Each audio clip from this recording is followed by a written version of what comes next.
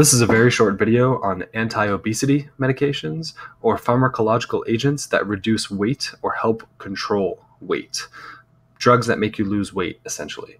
And before we get into this list of drugs and combo drugs that we have on the left here, it's important to note that these drugs do not work on their own and they do require lifestyle modifications and diet changes to be effective.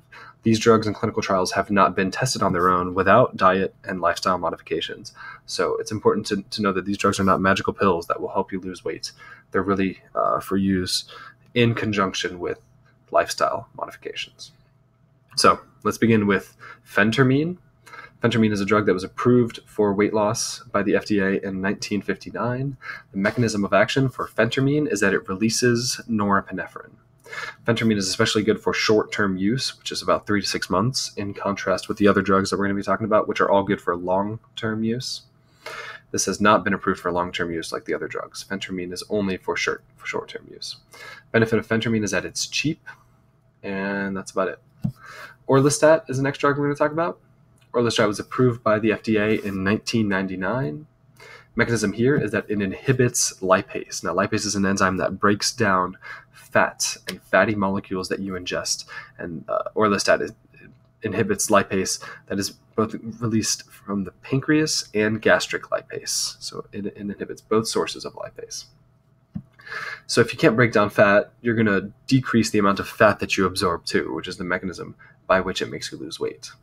Some side effects of not breaking down and absorbing fat is that you get GI disturbances. It can cause cramps, it can cause fecal incontinence.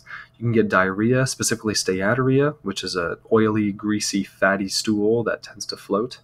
You uh, also sometimes we become deficient in fat soluble vitamins, which are the vitamins D, vitamin E, vitamin A, and vitamin K, the DEAK vitamins. Um, so, patients that might take Orlistat, you might want to instruct them to take multivitamins with that so that they don't become deficient in those vitamins. This is good for patients that are at risk for uh, coronary artery disease or coronary vascular disease um, because increased fat content in the blood can cause vessel problems, can cause clots in the arteries. And this is also available over the counter. So that's Orlistat. Next, we're going to talk about a combo drug, phentermine and topiramate. We already talked about phentermine. It, uh, as we said, the mechanism was to secrete norepinephrine. So let's add uh, the topiramate. Topiramate's mechanism is that it blocks sodium channels and it also modulates GABA receptors to increase the action of GABA. So this combo drug was approved in 2010, and it combines phentermine and topiramate. Topiramate is also used uh, for seizures, simple, complex, and tonic-clonic seizures, as well as to prevent migraines. So some side effects that you might get from using these drugs are pretty much the side effects of both of the drugs individually, um, although both drugs are given at lower doses. So hopefully that would mediate the side effects. So you might get mental sedation. You can also get kidney stones from using this combo drug. Next is lorcaserin. This drug was approved in 2012. Lorcaserin's mechanism is that it agonizes a serotonin receptor, specifically the 5-HT2C receptor. This is lorcaserin. Side effects are dizziness, dry mouth, GI disturbances, specifically nausea, vomiting, diarrhea, fatigue, and headaches. Next is bupropion and naltrexone. This is a combo drug that was approved for weight loss in 2014. Buproprion's mechanism is to increase norepinephrine and dopamine levels.